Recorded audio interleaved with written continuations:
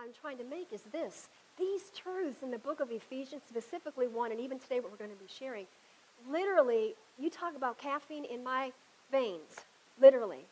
Caffeine, power, that when we began to see what God has made available for us, He's made so much available for us. And today, I truly believe if you will keep yourself completely open and have your receivers up, God's going to reveal some incredible truths to you that will radically change your life. So let's say this together. Say, Today, I will hear the voice of God, through the Word of God. My eyes will be enlightened. I will be changed. Turn to someone and say, I will be changed. Turn to somebody else and say, Neighbor, I will be changed. All right. Father, in the name of Jesus, we declared your word, and I just believe right now your spirit is moving in our souls. We have opened our hearts up to you to receive. And you're so gracious and you're so faithful to pour your love and your grace in us as we unpack your holy written word. In Jesus' name, amen.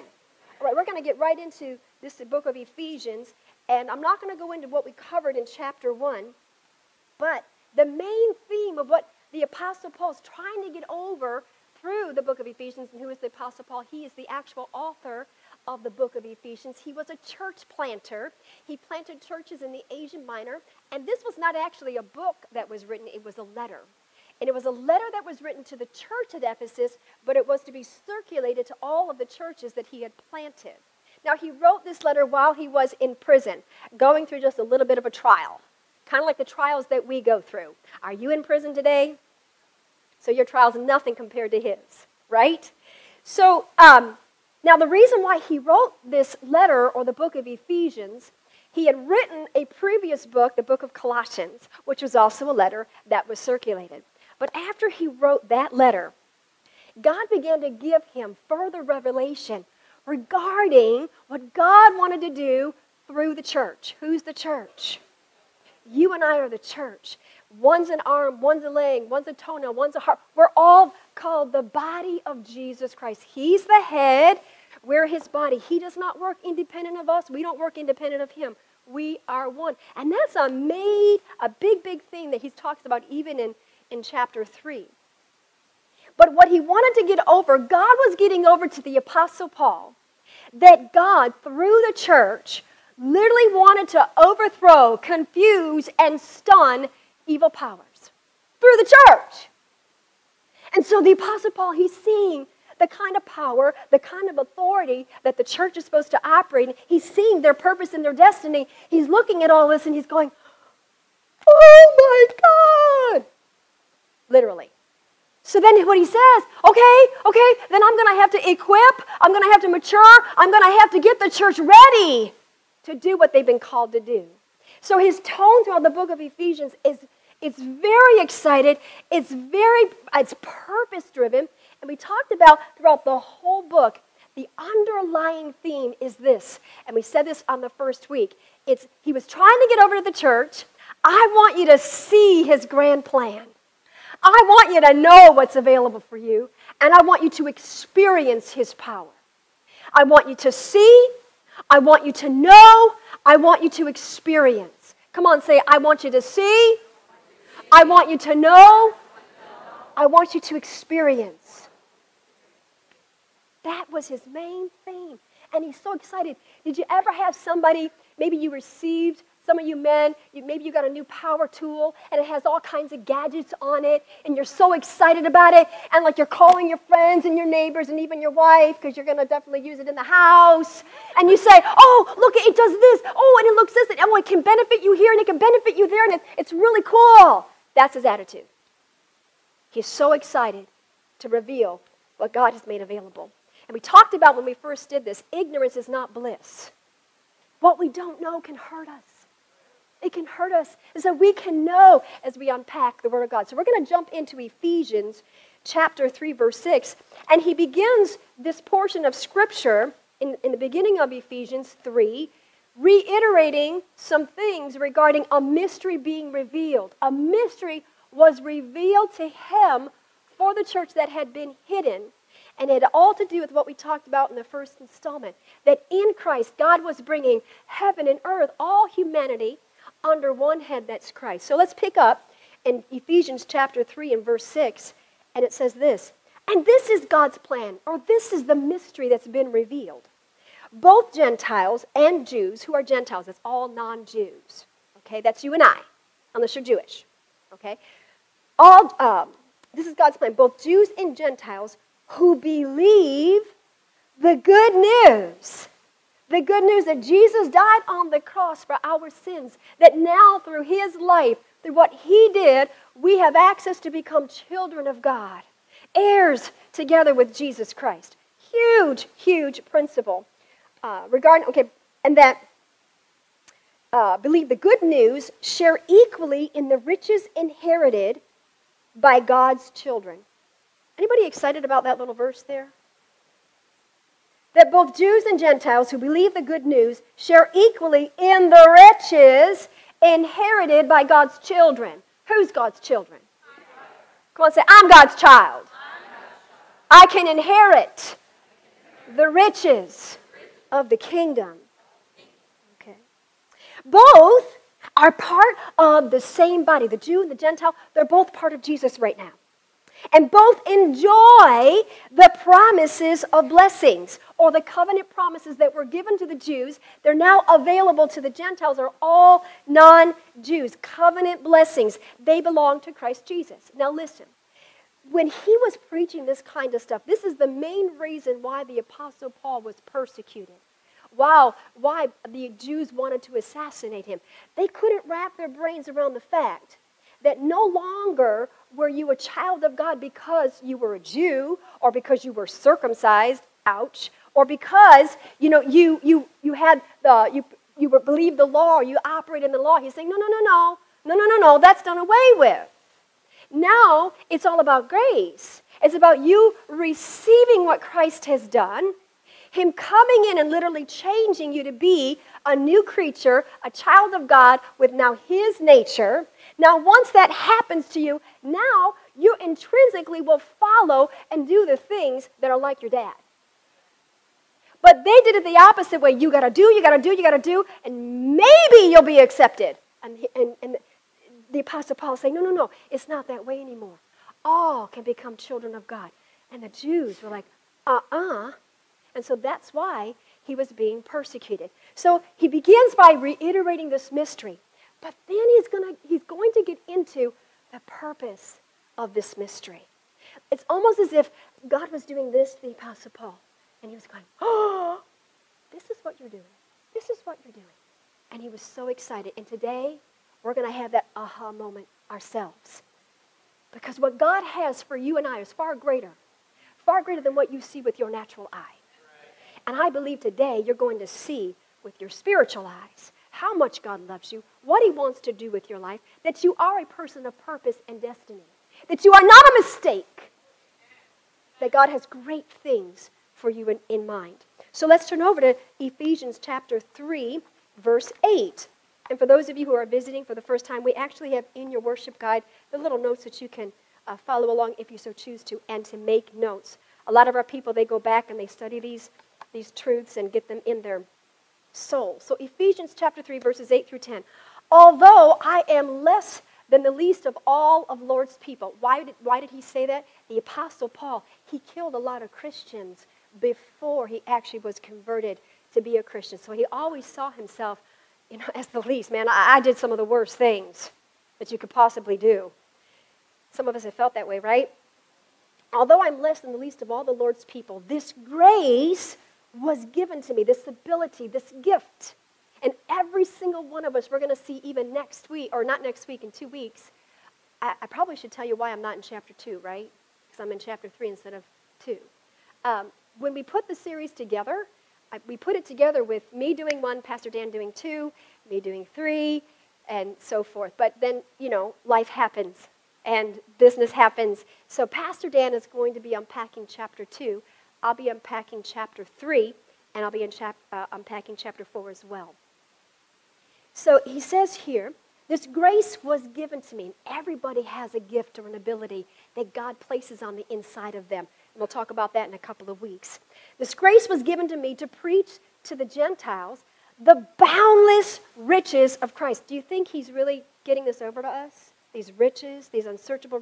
It says in the in the New King James, the unsearchable riches of Christ, and to make plain to everyone the administration of this mystery, or how does this mystery, how God's brought all things under one head through Jesus Christ, how we are all one, we are His body, to kind of make known how does this actually work. That's what He's saying which for ages past was kept hidden in God who created all things. So it was hidden at one time. Before the cross, it was hidden.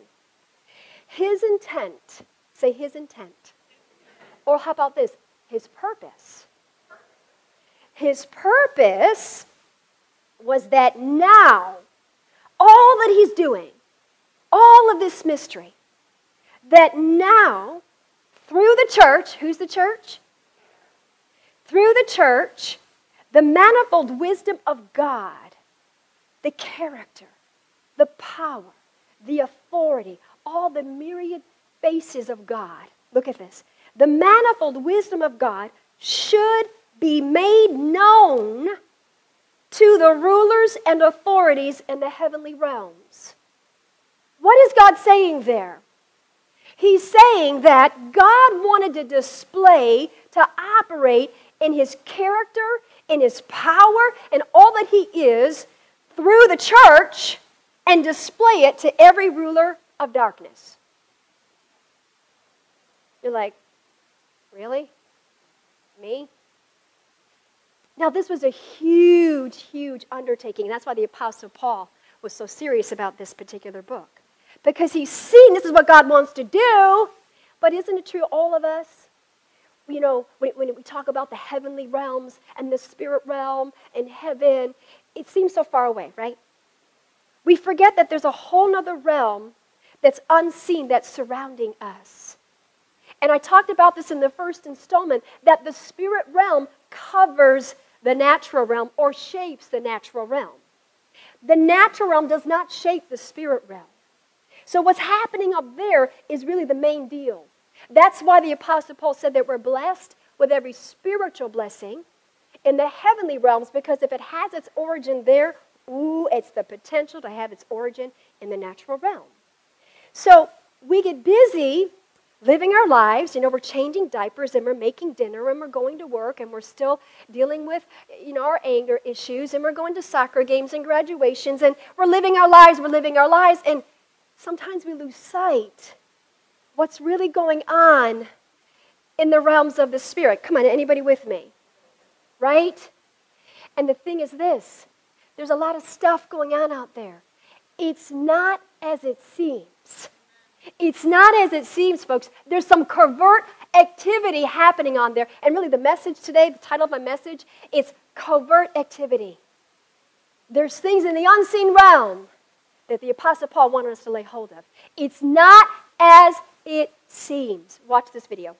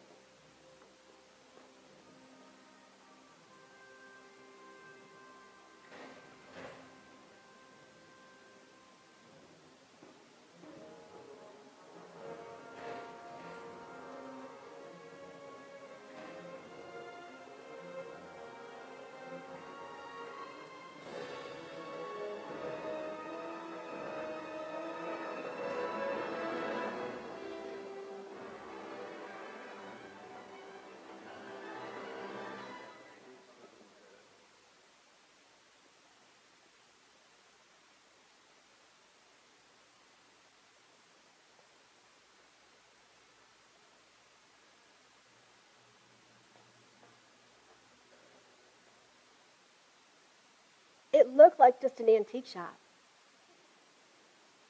Right? Just an antique shop. But it wasn't an antique shop, was it? There was something there was some covert activity going on. Far bigger, far greater than meets the eye. Far bigger and far greater than meets the eye. I think right here I want to just give you a little testimony, and then I'll get into, we're going to unpack some scriptures to kind of give you a little bit more about this. Um, my kids, since they were probably 18 months old, nine or uh, 18 months old, two years old, uh, we all began to, as a family, meditate and memorize Psalm 91, which is all about protection. All about protection. And, you know, he who dwells in the secret place of the Most High shall rest under the shadow of the Almighty. I will say Lord, He is my refuge, my fortress. I'm not going to go through the whole thing, but we memorized it. And we would, every time we'd get in the car, uh, we would say it. Every time we get in the car, we would say it as a family. So now, you know, my, my second oldest daughter, she is going to be 19 in August. And um, a couple of weeks ago was a Sunday night. Uh, she's sitting down at, the, at the keyboard, and she writes a song on Psalm 91. I mean, after all of these years of reciting Psalm 91, she writes a song? So she's writing this song. Oh my, you got to hear this song. And, you know, I'm just, just so blessed by it. And hopefully we can bring it here. It was such a blessing. That was Sunday night. Okay? Now remember, as you're worshiping, you're declaring the Word of God, right? There's power in the Word of God. There's power. God's promised us protection.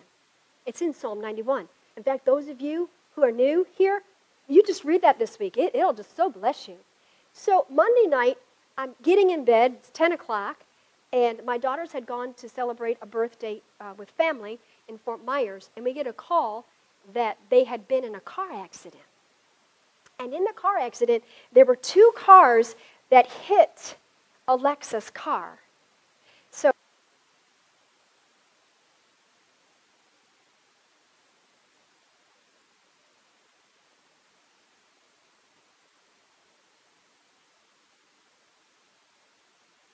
So um, we get the call, we get in the car, we go, that, we go down there, and, and when we drove up, if you guys could see the car, the car was completely totaled. Completely totaled. Good news for Alexa, she's getting a new car, you know? completely totaled. My girls walked out of that car accident, not a scratch, not one thing. Not one thing. And if y'all could have seen the people who were looking at the car and looking at them, I was driving down the freeway thanking the Lord that I was not going to a hospital. Why? The promises of Psalm 91. Let me just tell you what was going on in the unseen realm. There were these huge angels that we've been talking to and declaring that they watch over our family. They were really busy that night. And I, get you, I bet you they have a few bruises today because they took the brunt. And my kids walked out healed, safe. I give you glory, God. I give you praise. I give you praise because a part of that promise in Psalm 91 it says, "With long life I will satisfy you and show you my salvation." That word was at work that night and my kids, and I give God all the glory and all the praise. I'm, I didn't have to go to a morgue. I did not have to go to a hospital. I just had to bring my babies home. It's awesome. So let's go over to Daniel chapter 10, verses 12 through 13. There is covert activity in the unseen realm. There's stuff happening. It's not as it seems. Now, I'll give you a little bit of background with this particular scripture. This prophet, his name is Daniel. He is, um, he sets himself to pray he recognizes times and seasons. Now, the people of Israel at this time, they're in enslaved or in captivity to the Persians. And they became enslaved by their own fruition because they chose their ways over God's. And when we choose our ways over God's, we end up enslaving ourselves.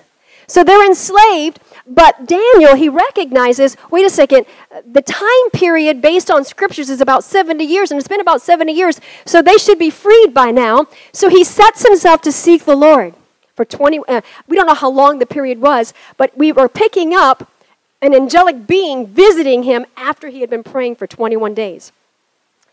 And this angelic being said, Don't be afraid, Daniel. Since the first day you began to pray for understanding and to humble yourself before your God, your request has been heard in heaven. When was it heard? When? When? When, when was it heard? The first day he prayed. But 21 days later, the answer came. What does it say to you and I? The first time you pray, it's heard. Do you ever feel like, oh, are you hearing me, God? I think it just hit the ceiling. It didn't get anywhere. Anybody felt like that? Your feelings are just indicators, they're not the truth. Okay? The first time you pray, it's heard. It's heard. But for 21 days, the spirit prince, the spirit prince of the kingdom of Persia, blocked my way. What is he saying? Persia was in was, was the world power at that time, and there was a natural Persian prince.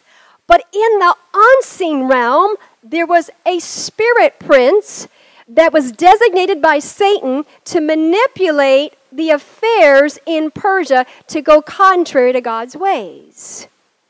There's a natural prince, then there was something right above that was pulling some strings. Pulling some strings. I'm going to tell you this I don't want to be a puppet. I don't want to be a puppet. We were created to walk in authority, right? So watch this. But for 21 days, the spirit prince of, of the kingdom of Persia blocked my way. Then Michael, one of the archangels, can someone do this? Whistle like really loud. Come on, Rick. Yeah, that's what I believe happened. Okay? Michael! Help! Okay? So Michael, one of the archangels, came to help me, and I left him there with the spirit prince of the kingdom of Persia so I could come to you, Daniel what is going on? I mean, this is Star Wars, you know? This is like, you know, what you see at the movies. Where do you think they get all that? There was something happening up there that was influencing what was happening here. And Daniel's prayer was releasing God's activity to intervene in the manipulation of the adversary. That's pretty cool. Some of you are going to get that when you go home. I'd get the CD because you need to hear that. The enemy is manipulating things in your life. And you've got the Holy Spirit, you've got angels at your beck and call to go in into that realms of the Spirit and put him at bay. Only because you have the name of Jesus, not because you're all that. And not because you do everything so right, but because he is in you and you believe in the power of his name and not your own. Not your own, it's his name, okay? Let's, ta- let's take another example. I just want to show you some covert activity. It's not as it seems. 2 Kings verses 6, 14 through 17. I'll give you a little background with this particular portion of Scripture. The king of Aram is really ticked off at another prophet. His name is Elisha. And the reason why he's ticked off with Elisha is that Elisha, who's very close to God, who spends time hearing from God, every time the king of Aram is going to do some kind of a strategy in battle, Elisha declares it out loud, and the king keeps losing. So finally, the king of Aram said, I'm done, I'm going to kill him. So he sends his army to go find Elisha, and he's at some little town, and his, his servants with him, and they're surrounding the city. I'd be just a little afraid, wouldn't you? No, maybe you're not. Maybe you're just so holy and spiritual and so full of God. so it says, when the servant of the man of God got up and went up, went out early the next morning, an army with horses and chariots had surrounded the city. Oh no, my lord! He pooped his pants. I trust me, he pooped his pants. What shall we do? The servant asked. Just look at Elijah. She's so cool, so laid back. Ah, don't be afraid, the prophet answered. Those who are with us are more than those who are with them. I'm telling you, if you got your Bibles open, you've got your notes, you circle that, get that in you, look at that. The, those who are with us are more than those who are with them. And Elisha prayed, Open his eyes, Lord, so that he may see. And it's the same prayer that the Apostle Paul was praying throughout the book of Ephesians. Oh, I'm praying that they would see, that their eyes, oh, that they would be enlightened, to the hope of their calling, their purpose, to that great inheritance in the saints, all the provision that you have for them, all that they would see that power that you have for them. The Apostle Paul prayed the same prayer. And guess what? So that's in Ephesians chapter 1. We pray that prayer over you. Almost every single day, we pray that prayer over all those who call themselves Life Christian Church. Our intercessory prayer team prays it over you every Saturday. In Ephesians 3 2, which we'll get to. If he prayed it over the church, oh, we better be praying it over the church, right? Because there's power in this prayer. Then the Lord opened the servant's eyes, and he looked and he saw the hills full of horses and chariots of fire all around Elisha. So there was this natural army surrounding the city. But there was this huge army in the heavenly realms right above them that far outnumbered that natural army. I'm painting a picture for a reason. There are more for you than against you. Does it feel like it? Most of the time. Most of the time, it doesn't feel like there's more force than against us. Most of the time, we feel I'm just by myself fighting this battle. But in reality, there's more for us than against us. And let me tell you, it takes time for this mind to catch up to what's actual. And it catches up the more that we are in the Word of God, because the Word of God trains our mind to cooperate with our spirit that goes into the heavenlies. Let me say that one more time. The Word of God trains our mind to cooperate with our spirit that goes into the heavenlies. You're first is spirit. Your, your body is going to eventually give out, and your spirit is going to go to heaven or to hell, determining on whether or not you choose to let Jesus save you, you want to save yourself. If we receive Christ and, and accept what he did on the cross, he pays for our sins. But if we don't want to receive Him and we can't see that He did that for us, then we pay for our sins and we go to hell. Someone's going to pay for sins. He chose to pay it for us. That's why it's a free gift. All we have to do is receive it. Receive it. The kingdom of God is about receiving. So there's this activity going on. It's not as it seems. And the Apostle Paul is saying, okay, there's a bigger picture. It's not just making your bacon and eggs in the morning, it's not just getting your paycheck. There's a bigger picture.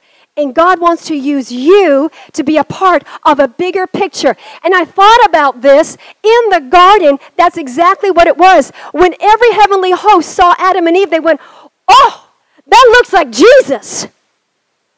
And that's what he wants again that every heavenly host would look at us and go, Oh, that looks like Jesus.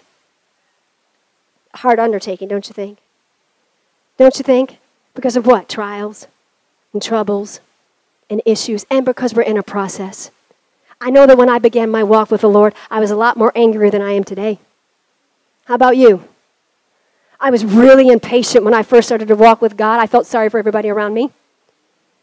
But I'm a lot more patient today right? I used to have an issue falling asleep because I had so much fear. Now I fall asleep before, you know, like that I fall. I can fall asleep anywhere. It's a miracle. When how it was before, because we're in a process, in a process of becoming like Him. So what we'll talk about a little bit more about unseen things, but let's t- let's define what is the manifold wisdom of God. What is the manifold wisdom of God? Let's look at James chapter 3, verses 14 through 17. It says, But if you are bitterly jealous and there's selfish ambition in your heart, don't cover up the truth with boasting and lying.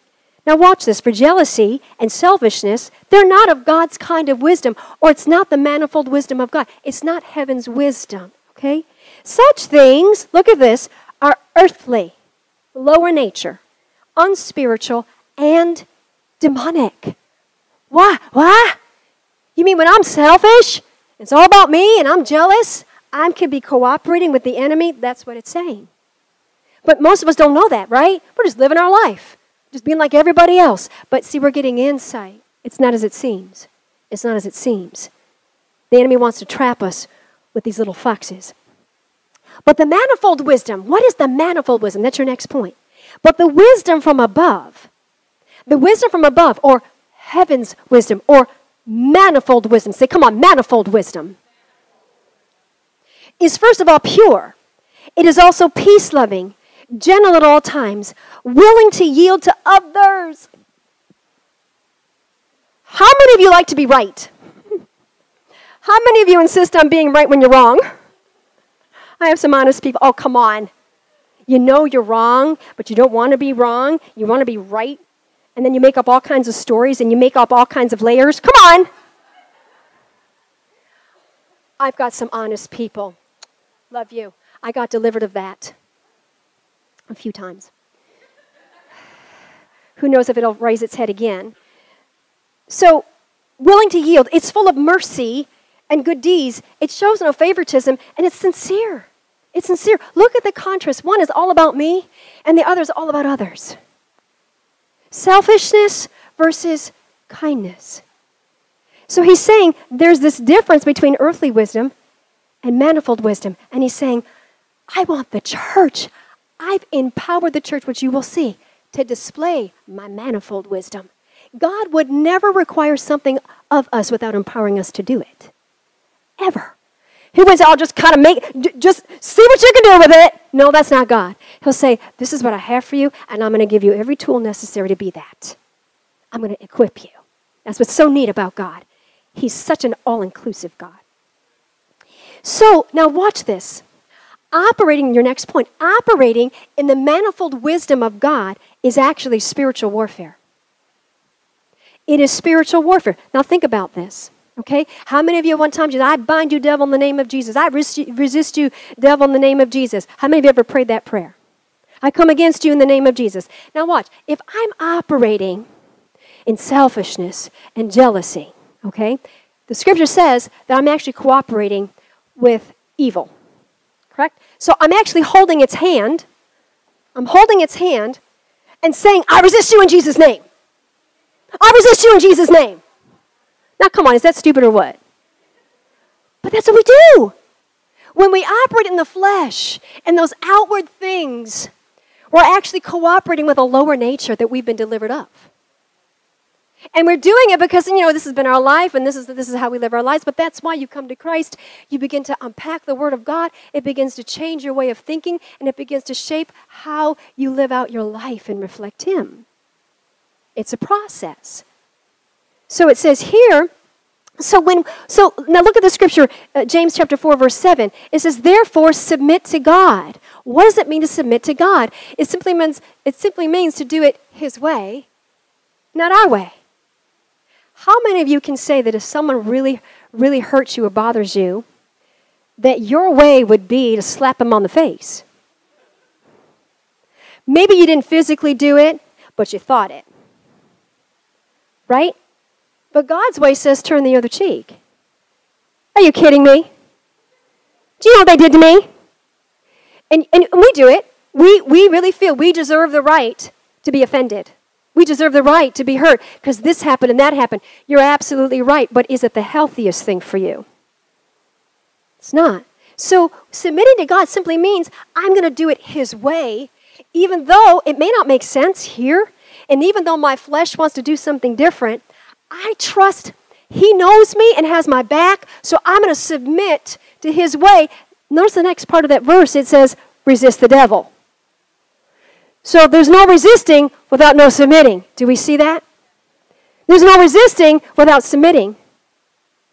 And so, and I believe this submitting to God is a process. It's something that we grow in day by day as we continue to know and to walk with the Lord.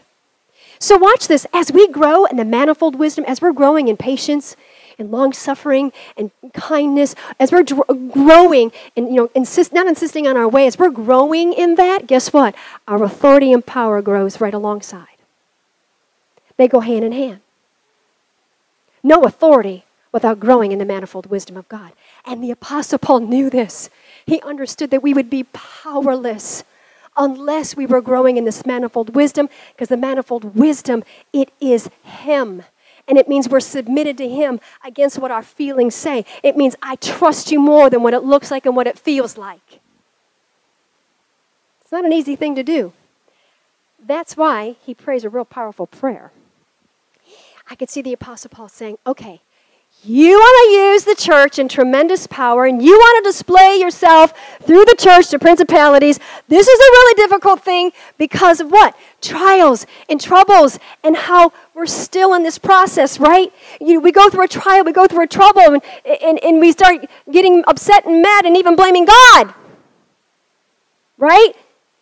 And so, and when I was putting this together, the Lord said this to me that the troubles, the trials, they're smoke screens to what's really going on. The troubles and the trials, the enemy wants it to be a smoke screen that you and I would focus on the trouble, focus on, I'm still in a process, focus on the issue instead of looking at the bigger picture that God is working something so great in your life. That He wants to use you. He wants to use you in a powerful way. The Apostle Paul understood this, and that's why he goes on and he prays, and he himself is in a trial. And he recognizes, oh boy, when we go through trials, we forget the big picture. Anybody? We forget why we've got breath in our body when we're going through a trouble or a pressure of some sort. That's why it's so important to be united with other people because they can strengthen you and encourage you and speak God's promise back to you when you're doubting it yourself. That's why we're a small group church, because we need each other to be strong and to fulfill who we're called to be as individuals and corporately. So the Apostle Paul, he's recognizing all of this. Oh my, this is so huge. And, and I know that they're up and down and all over the place, and I gotta pray. That's what he says. Not like that, but he said, I gotta pray. Look at what he says here in Ephesians chapter 3, verses 14 through 20. When I think of all this, He's having a day, right? When I think of all this, this grand plan and, and what you want to do, and, and, and oh my gosh, but we're so fleshly and, and, we, and we have so many issues. When I think of all this, I fall to my knees and I pray to the Father. I believe he was hitting his head on the ground, not just praying. Oh my, right? I fall to my knees in prayer that the creator of everything in heaven on earth, now watch this, he's praying something specific. This is for you. This is something you can pray on you. I pray this prayer every single day. I pray this over me and I pray this over you.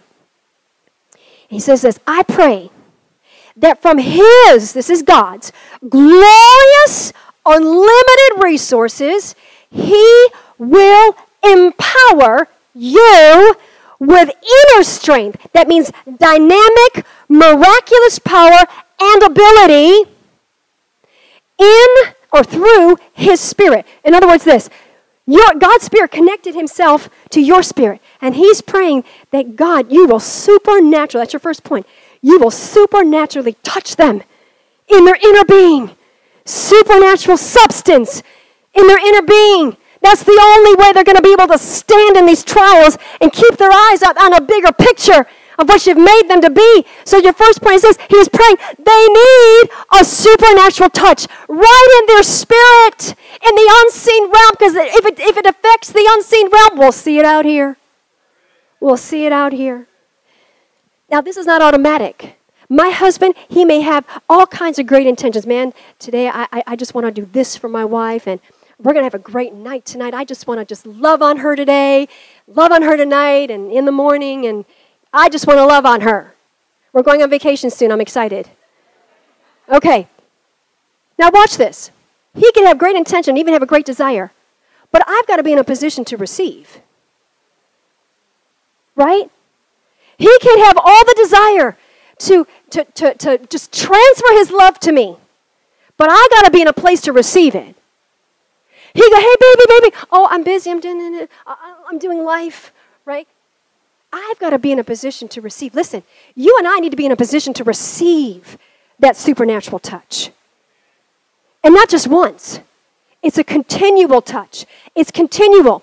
In fact, I, I think how it says here, uh, one of the scriptures that really came to me as I was putting this together, in Psalm 16, it says, In your presence is fullness. In your presence, when I'm in, when I'm talking to you, when I'm worshiping you, when I'm in the Word, I'm in your presence, I can receive fullness. There's fullness of joy, and at your right hand are pleasures forevermore. Mm-mm-mm. Where? In His presence. I put myself in a place to receive. I put myself in a place to receive. Now, quite interesting. The next, this is a consistent thing. Say consistent. I talk to my husband every single day. And even when he's out of town, we're texting, we're talking. There's a consistency to our relationship. Okay? God wants a consistency in our relationship. He goes on to say this. Now, watch this. I love the word then. So, we put ourselves in a place to receive. There's this consistent touch. Then, Christ will make his home in your hearts, and you will trust in him. Your roots will grow, will grow down into God's love and keep you strong. That word, make his home, it means to dwell permanently. There's a difference between visiting God and dwelling with God. There's a difference. You know, my mom's been away, and I've been going to her house to do a couple of things. And when I walk into her house, because she lives there, she doesn't just visit once a month or every six months. She lives there. When I walk into that house, her smell is all over the place. There's a residue of mom all over her home because she lives there. That's what he's talking about. That you've been so consistent in his presence that there's a residue of him in every area of your life. There's a residue of Him. You smell like Him, you look like Him. You're Him to every demonic principality in the heavenly realms. And that dwelling, that consistency, that residue, it produces an unshakable faith. I'm not moved because my God is for me. There's more for me than against me. He loves me. It creates that love that's so rooted, so unshakable. And then it goes on to say, and may you have power to understand power to understand that it actually means may you have the power to lay hold of. Come on, say lay hold of. Possesses your own, it means. Christ's love. No one can do that for you. So many times we say, oh, yeah, God loves you. But he's saying, no, no, no, you lay hold of the fact that he loves you. Lay hold of it personally. That's your next point. Verse 19, may you experience the love of Christ. So first he says, okay, I'm praying that you have a supernatural touch. He starts the process. Then I'm praying that you're going to lay hold of Christ's love for you. Then he said, now I'm praying that you may experience his love. What does that mean? It means this knowing God intimately, to know by experience or effort, knowledge as a result of prolonged practice, prolonged communication, prolonged interaction, prolonged experiences. Sounds like, you know, a deep relationship a deep, intimate relationship. This is what he wants us to experience. And what does that produce? Security, fearlessness. I can face anything. He's with me. He loves me. Look at this is what he was praying. The Apostle Paul prayed this over the church. We pray this over you that you would have a supernatural touch in your inner being, that you lay hold of Christ's love for you, that you would experience intimately his love for you. Now look at then. Come on, say then. Then, that got my attention. Then you will be made complete with all the fullness of life and power that comes from God. Listen, folks, come on now. We all want to feel complete, full, and whole. But notice there's a key to, to it. We got to be praying. I'm going to be strengthened in my inner man. I receive a supernatural touch from God.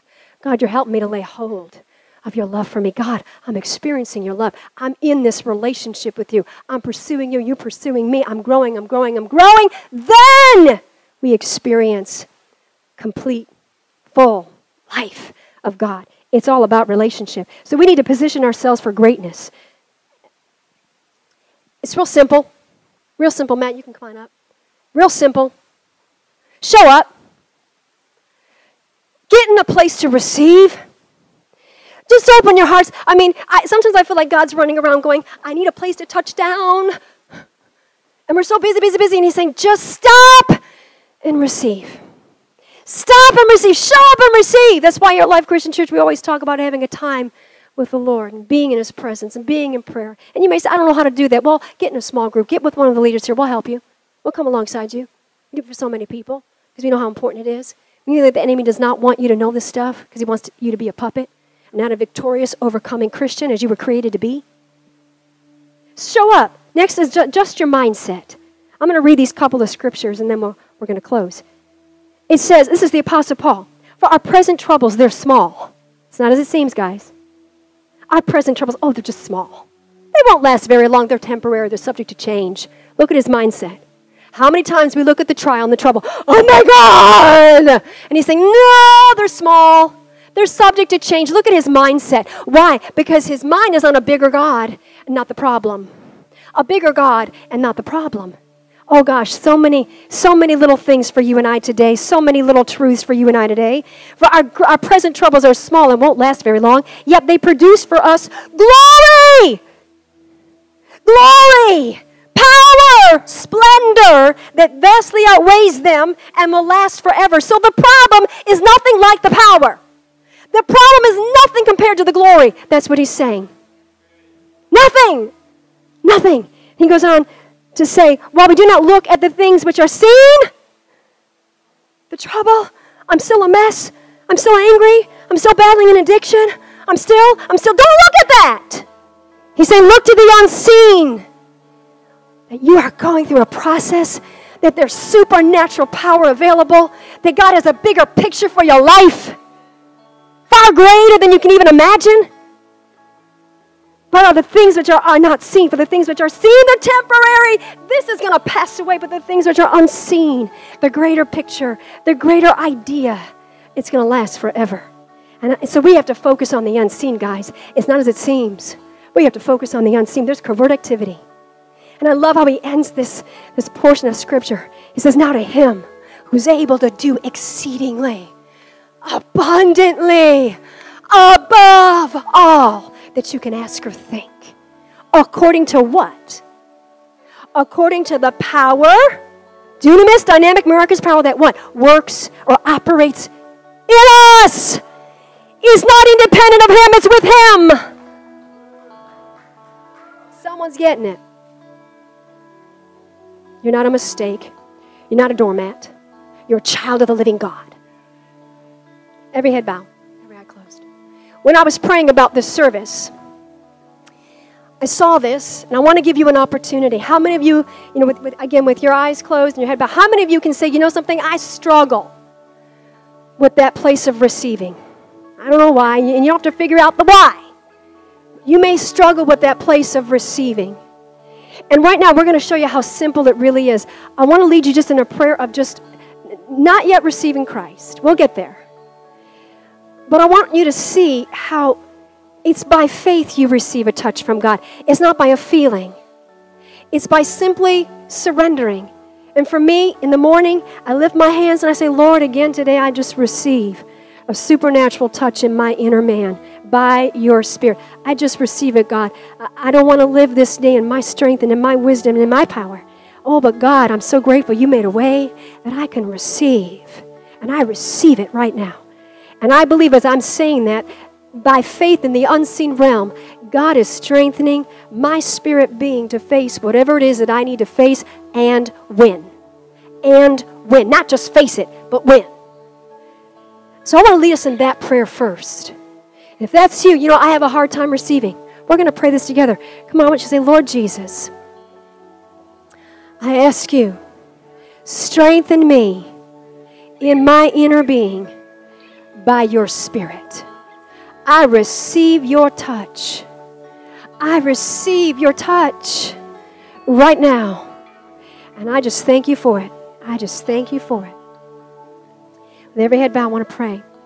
You may be here and you've never, ever even heard about receiving Christ or that you can be a child of God, that God wants to do a great work in your life. And if that's you, I want to offer another prayer for you.